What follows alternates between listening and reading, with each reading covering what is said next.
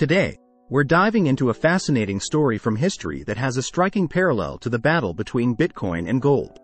French Emperor Napoleon III once used aluminum cutlery for his most honored guests, while normal guests had to make do with gold utensils. Why? Because at the time, aluminum was more precious than gold. In the 19th century, aluminum was exceptionally scarce and expensive. Its complex production process made it even costlier than gold. In 1852, aluminum's price was around $37 per ounce, compared to gold's $20.67 per ounce. But in 1886, everything changed with a groundbreaking discovery. This discovery allowed for the mass production of pure aluminum at a fraction of the previous cost. The price of aluminum plummeted from $550 per pound in 1852 to just $12 in 1880, and by the 20th century, it cost about 20 cents per pound.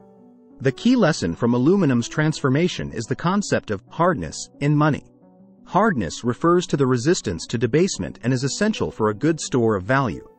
Good money should be hard to produce, unlike something easily created. One way to measure hardness is by using the stock to flow ratio. It compares the existing supply to the new supply added each year. High stock to flow ratios indicate hard assets, while low ratios suggest easily influenced supplies. Gold, with its high stock to flow ratio and indestructible nature, has always been one of the hardest assets, making it an ideal store of value. Its long history of production contributes to its unmatched monetary properties. Now, let's turn our attention to Bitcoin. With an stock to flow ratio close to that of gold, Bitcoin's supply is cut in half every four years through a process called halving. This quantitative hardening sets it on a path to become even harder than gold. In 2023, Bitcoin's stock to flow ratio will double that of gold. As halvings continue, Bitcoin's supply growth will decrease until the year 2140 when it reaches a maximum of 21 million coins. Historically, Bitcoin's halvings have been the catalyst for some of the most astonishing bull markets in the world of cryptocurrencies. These events, which occur roughly every four years, have consistently ignited surges in Bitcoin's price that have left investors and experts in awe.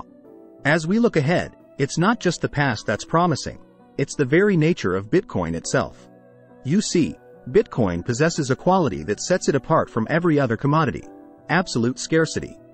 This attribute is what makes Bitcoin a game changer in the world of finance.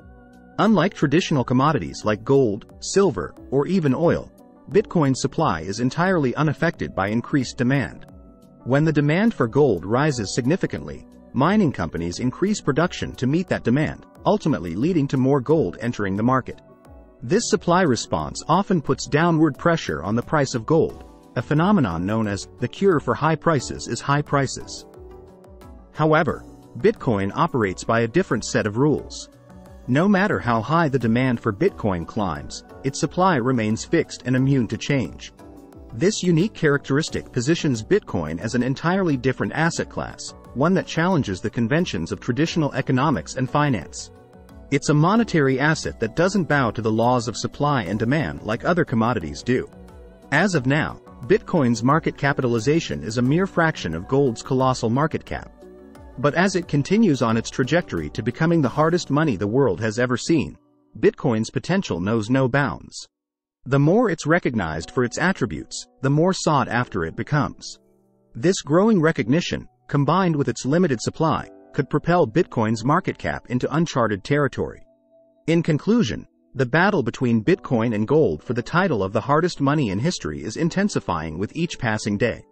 With its fixed supply and the relentless increase in demand from individuals, corporations, and even nation states, Bitcoin has the potential to reshape the world of finance as we know it.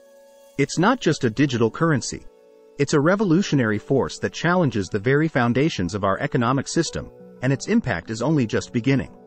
Keep a close eye on this historic showdown, as it will undoubtedly shape the future of wealth and finance. Remember, this video is not financial advice, and investing in cryptocurrencies involves risks. Make sure to do your own research before making any investment decisions. If you found this video informative, don't forget to like, subscribe, and follow our channel for more content on finance, technology, and more. Thanks for watching.